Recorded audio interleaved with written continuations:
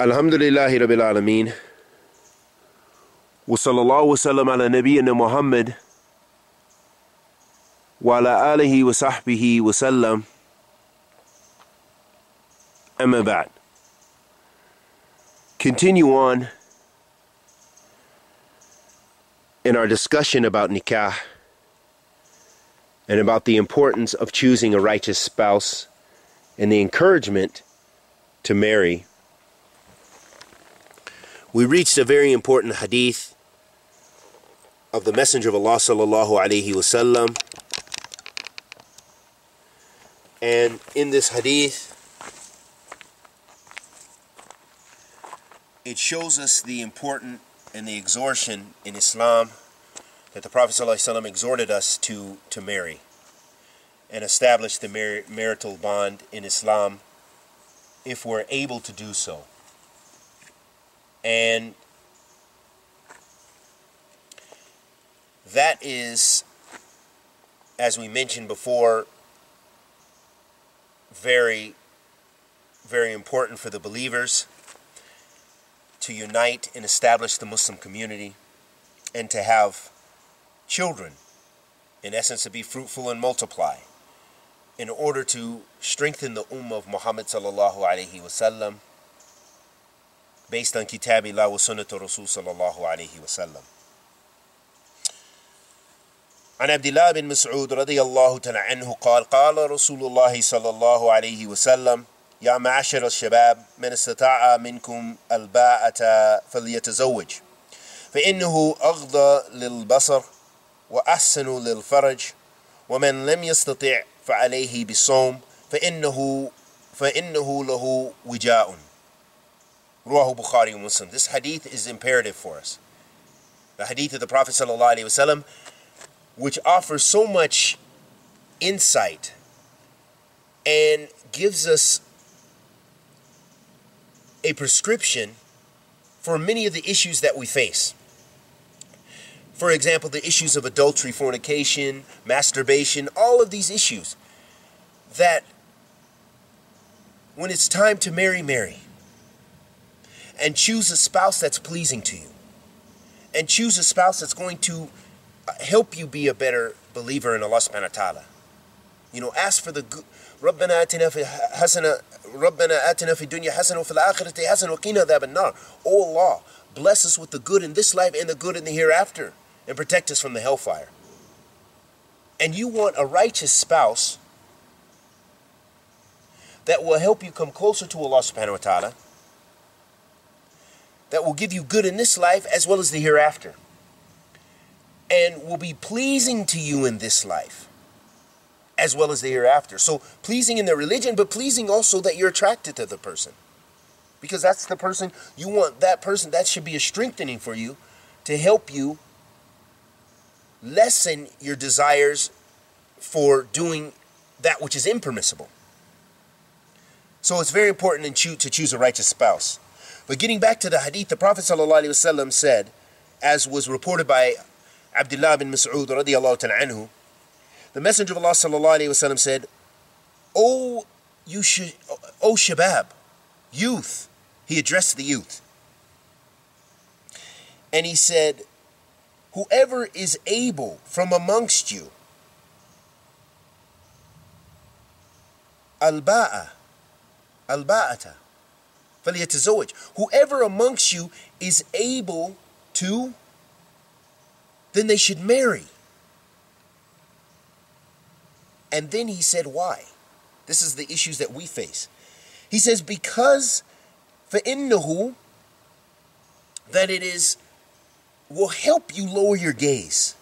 It's more protecting for lowering your gaze because we're ordered to lower our gaze. Allah subhanahu wa ta'ala has commanded us to restrict our gaze. And may Allah forgive us of our many shortcomings because many of us find it very difficult to lower the gaze. But that's going to help protect your iman and protect your religion and protect you from the muharram. So marriage will help you lower your gaze and help you to safeguard your private parts because you won't be your desires won't be so crazy where you're looking to do the haram. And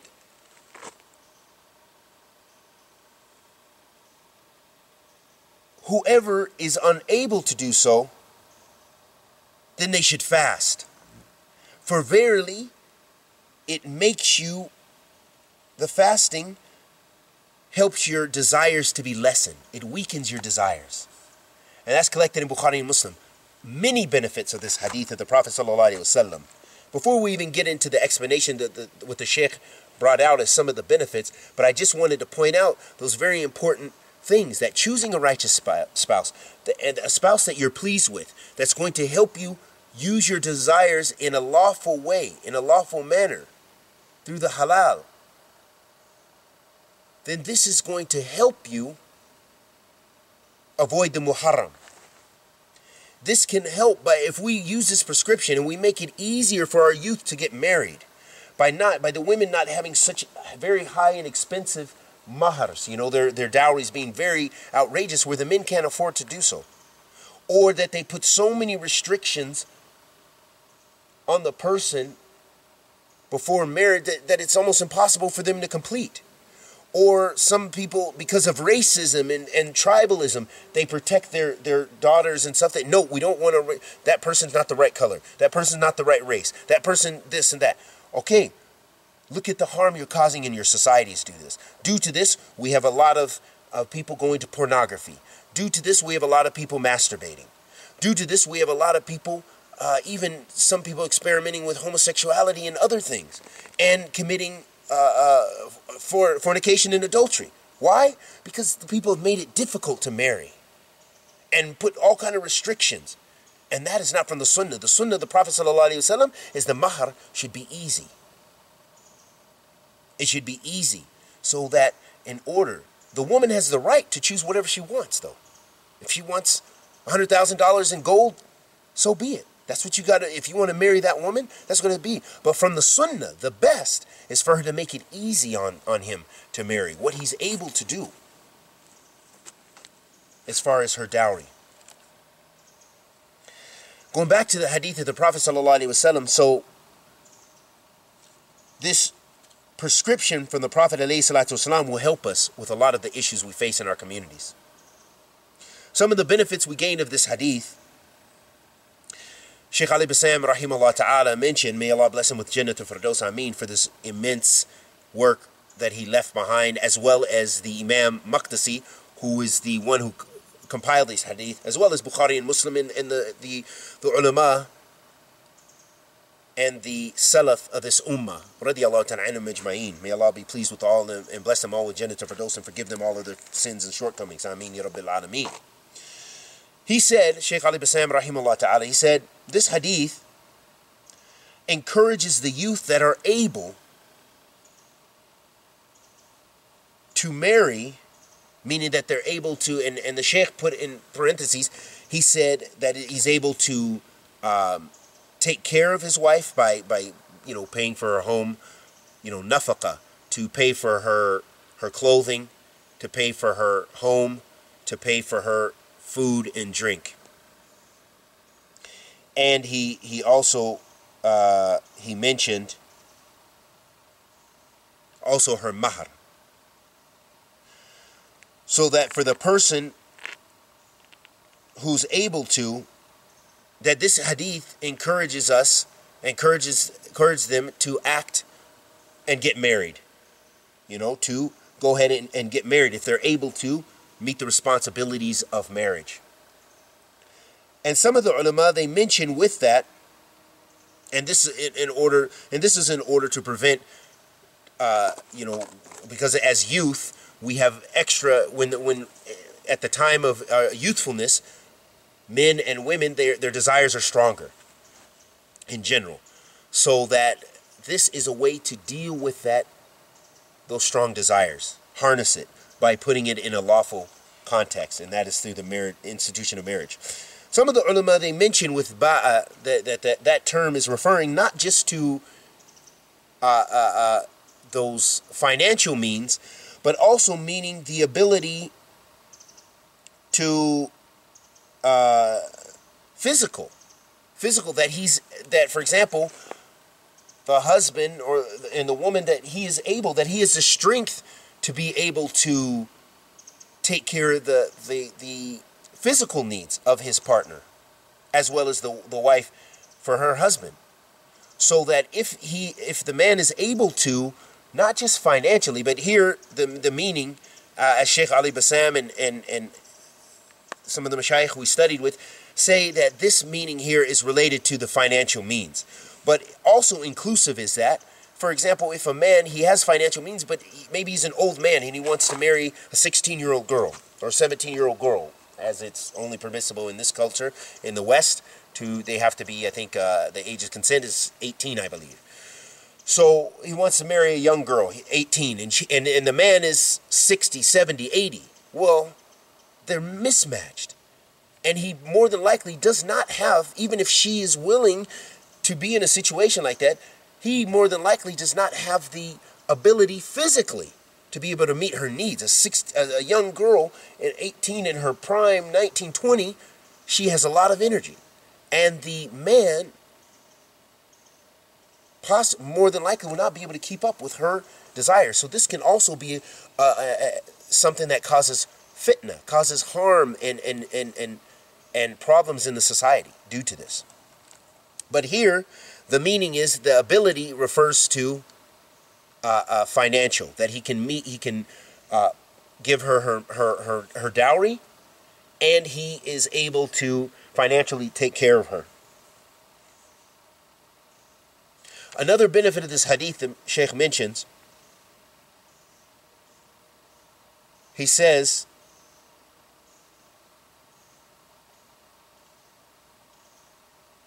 Sheikh al-Islam ibn Taymiyyah says, so the Sheikh brings this, this statement of Sheikh al-Islam ibn Taymiyyah, rahimahullah ta'ala, may Allah have mercy on all of them. He said that the ability here for nikah is, is not in reference this is referring to being able to take care of her financially and so forth.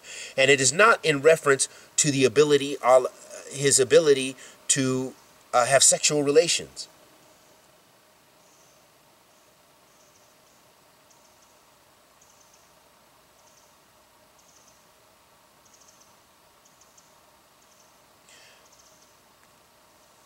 And though that's some of the argument of Sheikh al-Islam ibn Taymiyyah. Another benefit of this hadith is the reason that this hadith uh, addresses the youth is because, of course, as we already mentioned, the youth in their prime, they are in their sexual prime as well, so they are eager to uh, have relations and they have that energy and they are in need of harnessing that energy in a lawful means. And this is uh, very important to consider.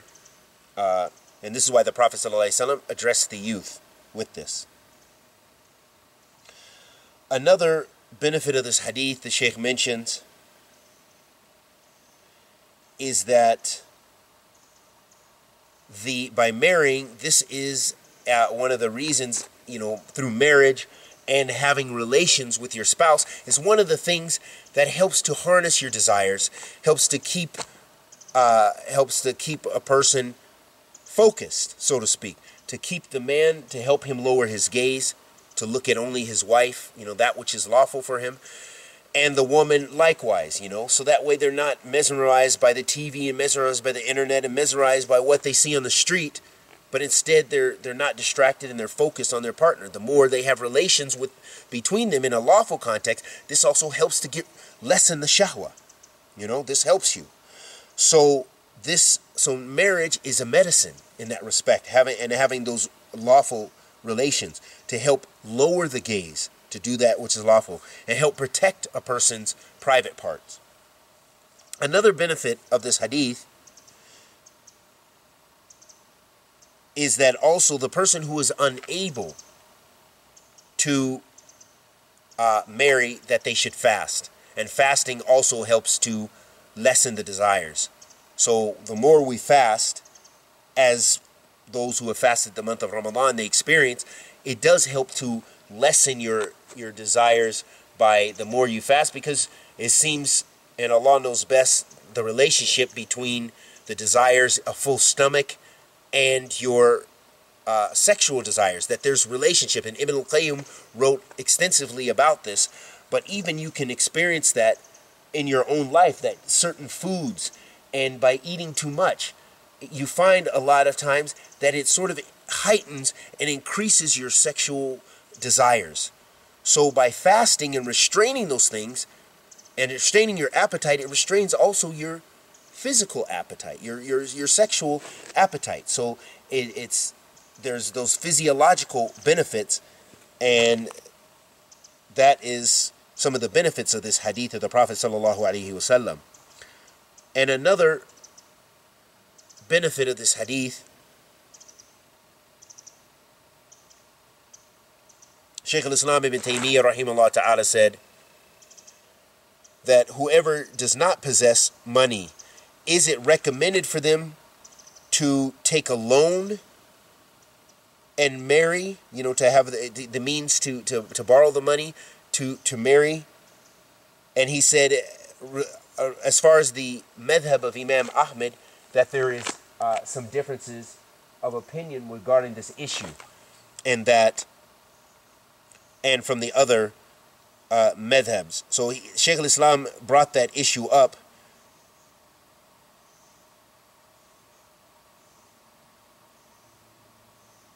And he, he mentioned the ayat where Allah subhanahu wa ta'ala says, will you will uh, وليستعفف وليستعفف الذين لا يجدون نكاحا حتى يغنيهم الله من فضله that those people should restrain themselves and try to remain chaste who do not have the ability until Allah increases their their wealth from his his benefits so that they're able to marry.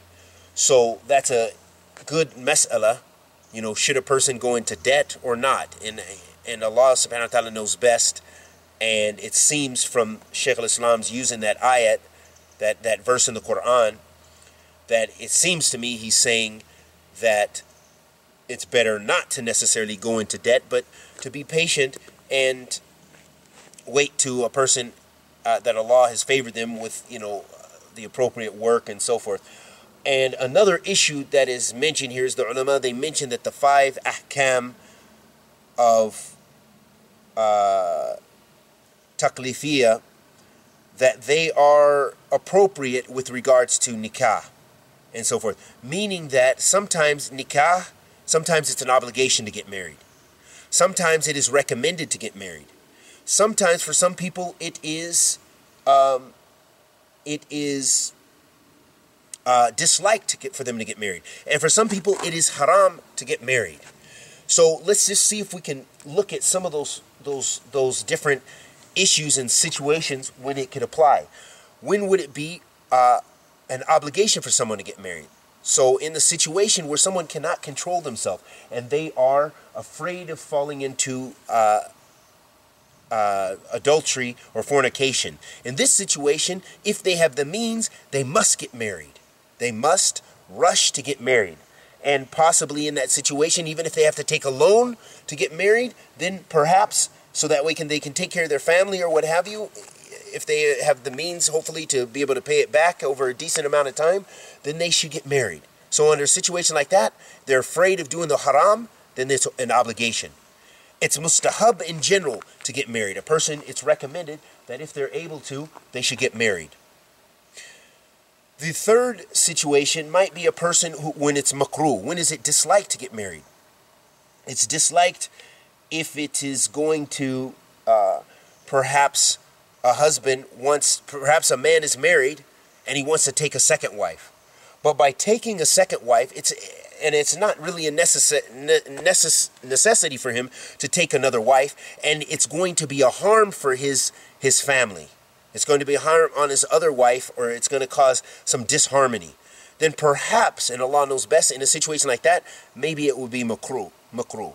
And then there are times when actually it can be muharram to marry, for example, and Allah knows best, and I, I, I wish I had some examples from the scholars, but from I'll try to recall some examples, but perhaps if someone is trying to get, uh, they don't have the means to take care of their family and so forth, then in that situation it could be muharram.